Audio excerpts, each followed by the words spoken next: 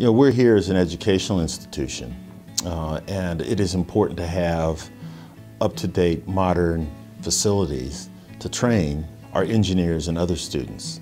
This sesquicentennial hall will replace Ottensman Hall that's over 60 years old. In, in, large part, it's not flexible enough and doesn't have modern equipment in it.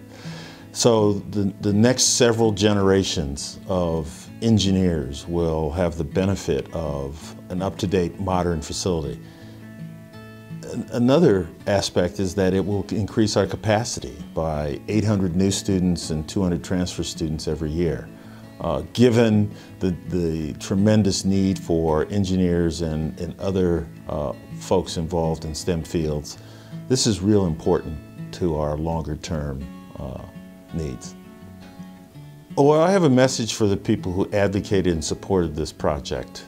Community leaders, business and industry, Representatives uh, Tranel and Novak and, and, and Senator Marklein all had a tremendous impact on whether or not these projects were approved.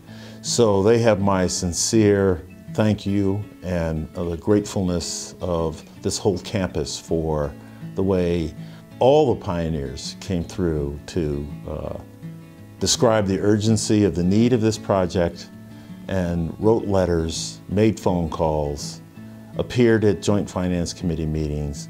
All of those contributed to this very successful effort to convince the legislature and the governor of the importance of these projects.